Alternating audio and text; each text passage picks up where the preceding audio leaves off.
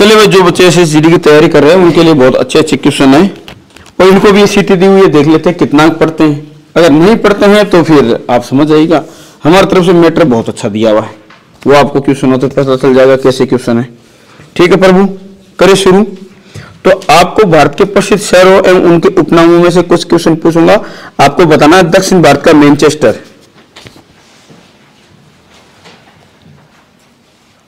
भारत की शराब राजधानी। शराब राजधानी। हम्म। भारत का स्कॉटलैंड। कान नहीं कानपुर मैनचेस्टर उत्तर। भारत के मंदिरों का शहर। मंदिरों का शहर? हम्म। अयोध्या। अरे अयोध्या में राम मंदिर बन गया तो मंदिरों का शहर बन गया क्या? कब बन गया मंदिरों का शहर? मंदिरों का शहर कौन सा है? बताओ तो ये कमेंट में भाई। मैं नहीं बता रहा। हैं? मैं बताऊँ? भुवनेश्वर। चलिए अब आ जाते हैं भारत की कृषि क्रांतियों पर। आपको बताना वो किससे संबंधित है? गोल क्रांति किससे संबंधित है? पीली क्रांति किससे संबंधित है? स्वर्ण क्रांति किससे संबंधित है? कपास। नीली क्रांति किससे संबंधित है?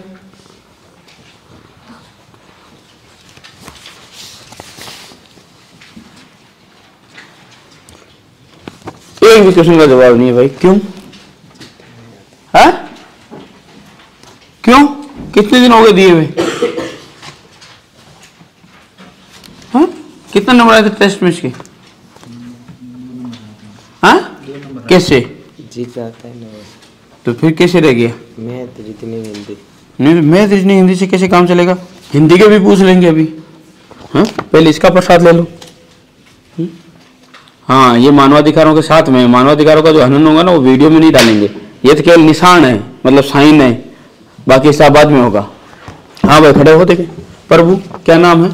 अनूप। पकड़ो पकड़ो माइक उधर मुँह कर लो घूम जाओ ऐसे अनूप जी आप बता दो भाई काली क्रांति का संबंध किससे है?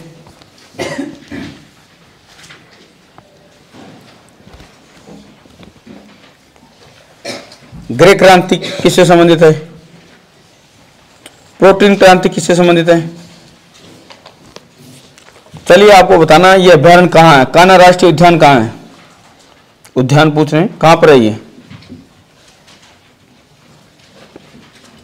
रणथंबोर राष्ट्रीय उद्यान कौन से राज्य में? रणथंबोर कहाँ पता है? नहीं सर। सर इसका अभ्यारण्य राजस्थान में। दूधवा राष्ट्रीय उद्यान ये तो तेरा राज्य का है उत्तर प्रदेश का। उत्तर प्रदेश का है ना तू? जी जी। तो तेरे राज्य का है भाई। हम्म? फिर कैसे नहीं पता प्रभु? काजीरंगा अभ्यारण्य। किसके लिए प्रसिद्ध और कहाँ पर है ये? है? हाँ। आसाम में। किसके लिए प्रसिद्ध है? एक सिंह का गेड़ा एक सिंह के गेंडे के लिए।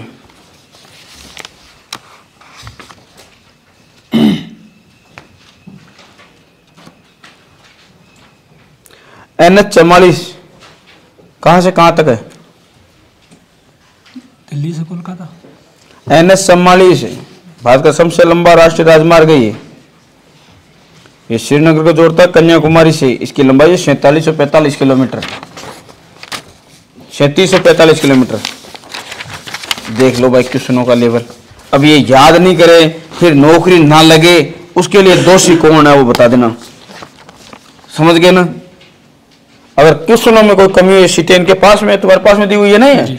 अरे सीटें तुम्हारे पास में है? आप सिर्फ़ क्वेश्चनों का लेवल देखना इसमें? मैं नॉर्मली पूछता जा रहा हूँ कहीं कहीं से। आप देखना कि एग्ज़ाम लाइक क्वेश्चन है कि नहीं ये ज़रूर बताना आप।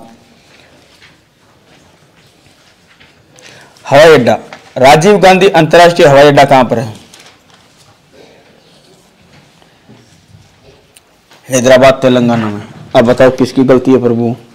हैं? निशान ले लो। बाकी स्वागत बाद में करेंगे निशान है बस। आ जाओ बादल फ्रॉम बिहार। बिहार से ही ना? हैं? पकड़ो देखे माइक घूम के। ये है बिहार से। तो बादल जी आपको बताना है।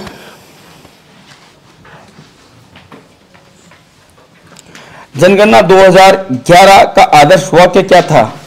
मेरा जनगणना मेरा भविष्य। हमारी जनगणना हमारा भविष्य। लेकिन ठीक है। जनगणना 2011 की कुल अनुमानित लागत कितनी थी? पहली जनगणना कब हुई थी? अठारह सौ बहत्तर में। और हाँ जनगणना 2011 की कुल अनुमानित लागत 2200 करोड़ थी, ध्यान रखना भाई। पहली सफल जनगणना कब हुई थी? पहली जनगणना तो उन्नीस सौ बहत्तर में हुई थी, लॉर्ड मेयो ने करवाई थी। लेकिन ये सफल नहीं हुई थी। पहली सफल जनगणना कब हुई थी? एस एस के लिए ध्यान रखना इसी पे। और अगर आप एस एस की तैयारी कर रहे हैं तो आपको बहुत काम की चीज़ है। ठीक है? बहुत काम की चीज़ें हैं अस्सी के दशक में। अस्सी के दशक में तो लेकिन कब? अठारह सौ इक्यासी में अस्सी के दशक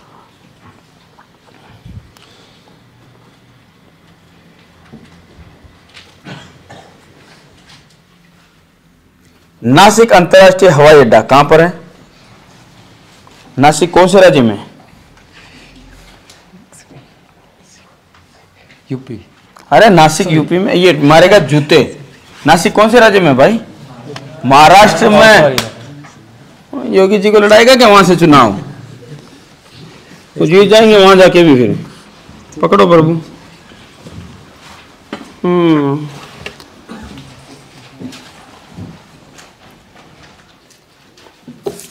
चलिए आपसे भी पूछ लेते हैं कुछ काम की बातें अगर आप बता सको। सबसे अधिक आबादी वाला केंद्र शासित प्रदेश कौन सा है?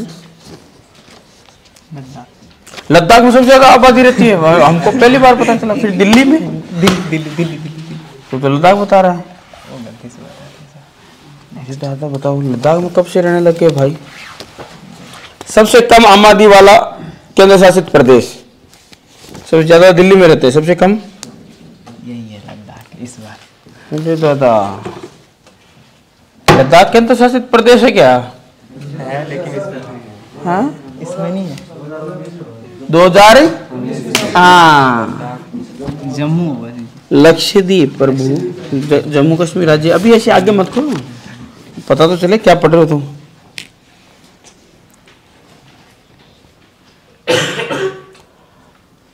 सबसे अधिक आबादी वाला राज्य जिला कौन सा है राजस्थान में है सबसे अधिक आबादी वाला जिला राज्य नहीं पूछ रहे जिला पूछ रहे। राजस्थान में लेकिन राजस्थान में है? अरे दादा। बताओ। महाराष्ट्र में थाने। ये हाल है। ये वीडियो इसी मकसद से बना रहे ताकि आपको पता चले। आप सिर्फ़ क्यों सुनोगा? लेवल चेक करना। अब ये नहीं पढ़ रहे फूट बद रहे इसका इलाज मेरे पास में नहीं है। समझ गए? अब आप ये मत बोलना कि सर आप इनको पढ़ा सकते हैं ज़बरदस्ती। समझ गए बात को? क्योंकि ज़बरदस्ती कुछ नहीं करा सकते। इस चीज़ की पॉसिबिलिटी बहुत कम है कि हम ज़बरदस्ती इनसे कुछ करवा लें। क्योंकि ये इतने समझदार हैं, इनके माता पिताओं के हाल भी इनको पता है। उनके खुद के हाल भी इनको पता है, सब समझते हैं ये। इतने बेवकूफ़ नहीं हैं। अगर फिर भी नहीं पढ़ते हैं तो उसका हमारे पास में कोई इलाज नहीं। हमारे पास में जो संसाधन है, उसकी व्यवस्था है। ट्यूशनों का आप लेवल चेक कर लेना, पूरी सीट के दौरान। आप बिल्कुल हंड्रेड परसेंट बोलोगे कि सर बहुत अच्छे क्वेश्चन है ऐसे क्वेश्चन ही एग्ज़ाम में आते हैं। ठीक है? भारतीय गणराज्य के प्रथम राष्ट्रपति कौन थे? यानी भारत का पहले राष्ट्रपति। बहुत आसान डॉक्टर? राजेंद्र प्रसाद। बिल्कुल सही आंसर है। इसमें कुछ स्टेटिक जीके डाला हुआ है करंट जीके के साथ में। करंट जीके भी है। मैं आपको बता देता हूँ करंट जीके भी कुछ क्वेश्चन पूछ लेते हैं इनसे ताकि इनको पता रहे कि हाँ भाई करंट का है। तो चलिए करंट के कुछ क्वेश्चन पूछ लेते हैं। इसमें आगे आगे कुछ करंट दी हुई है। तो हाँ नोबल पुरस्कार 2023 उससे संबंधित पूछ लेते हैं।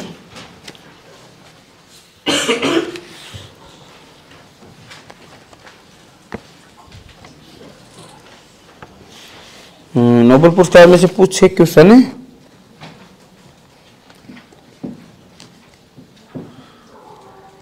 नोबल पुरस्कार कितनी श्रेणियों में दिया जाता है? यदि कितने सेक्टर में दिया जाता है? पाँच। छह। एक तो होता है फिजियोलॉजी या चिकित्सा दूसरा होता है भौतिक तीसरा रसायन साहित्य शांति और अर्थशास्त्र। इन तीन क्षेत्रों में नोबल पुरस्कार दिया जाता है। तो आपको बताना अर्थशास्त्र का नोबल पुरस्कार 2023 किसे दिया गया है?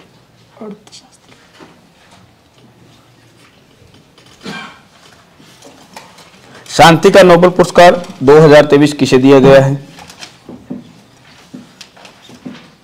याद रखना, ईरान की नरगिस मोहम्मदी को दिया गया शांति 2023 का नोबेल पुरस्कार।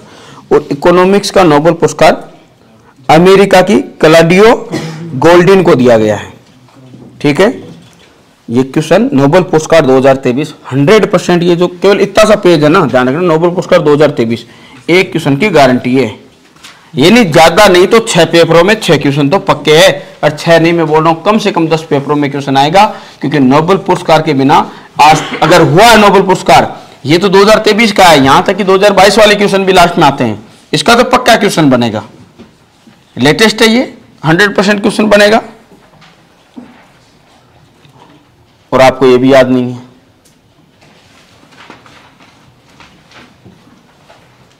प्रभु पेटा इंडियन द्वारा personal person of the year 2022 किस महिला को दिया गया? किस भारतीय महिला को दिया गया? या किन दो महिलाओं को दिया गया? 2022 में एक को दिया गया 2021 में। 2021 में आलिया भट्ट को दिया गया था ये। पेटा इंडिया द्वारा पर्सन ऑफ़ द ईयर महिलाओं को दिया जाता है। ये आलिया भट्ट को दिया गया था और 2022 में ये दिया गया था सोनाक्षी सिन्हा को। ठीक है प्रभु। बताओ।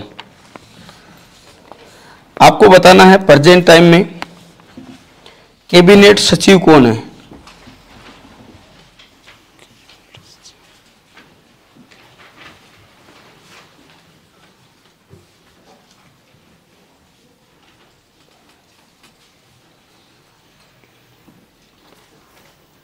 हम्म? नौसेना प्रमुख एडमिरल कौन है? वायुसेना के प्रमुख कौन है? और सेनाध्यक्ष कौन है? किसको पता है सेनाध्यक्ष कौन अभी? मनोज पांडे। वो सीडीएस बता रहे हैं आप। प्रभु, बताओ भाई। ये क्वेश्चन भी, ये साइन है।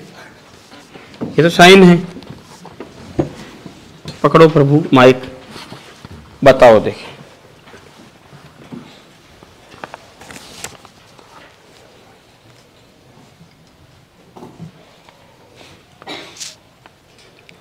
नासा के नए मुख्य टेक्नोलॉजिस्ट कौन है? एसीपी चरनिया। चलो ठीक है। राष्ट्रीय सुरक्षा सलाहकार। अरविंद गोल हाँ। राष्ट्रीय सुरक्षा सलाहकार कौन है? मोदी जी के साथ में घूमते हैं ऐसे ऐसे। सब जगह जब बाहर जाते हैं ना मोदी जी साथ में रहते हैं उनके? के अरे अजीत डोभाल भाई। रो के प्रमुख कौन है अभी? रोके हम्म। जो भारतीय खुफिया एजेंसी है रो। R A W Ravi Sinha यह करंट जी के क्वेश्चन है भाई इसमें दिए हुए हैं। और मुख्य मुख्य पूरी की पूरी सीट ऐसी है कि अगर जो बच्चा इसको रट लेगा करंट जी के क्वेश्चन काफ़ी हद तक वो कर देगा। लेकिन ये रटेंगे ही नहीं तो कैसे कर देंगे? फिर बाद में बोलेंगे हम क्या करें? सीट नहीं थी सीट नहीं थी? क्यों भाई? तो ले लेता आके। कौन मना कर रहा था? पड़ोसियों के पास में फ्री पड़ी थी पढ़ लेता। हम्म? नागालैंड के मुख्यमंत्री कौन है? नागालैंड के वो है नेफिरियो पंजाब के मुख्यमंत्री? काफ़ी प्रसिद्ध रहे हैं ये कॉमेडियन पहले। भगवंत सिंह मान सिंह सिन्हा। हम्म आओ प्रभु। आओ तुम्हें दिखाएँ झांकी हिंदुस्तान की।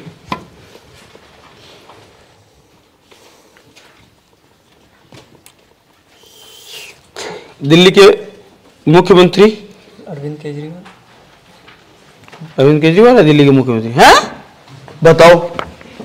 अरे दादा कहाँ से हो बे? एक बार बताओ बताओ कहाँ से हो तुम? दिल्ली से हूँ दिल्ली का मुख्यमंत्री नहीं पता तेरे को तू दिल्ली से। चेंज कर दूँगा स्टेट अरे तो तेरे को दिल्ली केजरीवाल है अरविंद केजरीवाल ही है सर। अब कब चेंज हो गया अभी तो चुनाव भी नहीं हुए अभी कैसे चेंज हो जाएगा? तो हम कहाँ मना कर रहे हैं? तो वही तो पूछ रहा हूँ। मैंने तो मना नहीं किया तूने शक जैसा मुँह बनाया अरविंद केजरीवाल बोल के। जैसे भाई तेरे को शक हो। नहीं मैं तो मैं तो मैं क्या बोला? गलत बोला रहे मैं? मैं तो बोला भाई हाँ। बताओगे अरविंद केजरीवाल है। तो ये शक जैसा चेहरा बना लिया था। प्रभु?